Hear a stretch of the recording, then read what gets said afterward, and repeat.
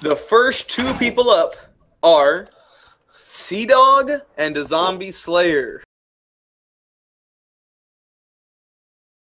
You can fly above. Tell us, tell us, tell us what you have to say. Um, I've never had this much pressure before.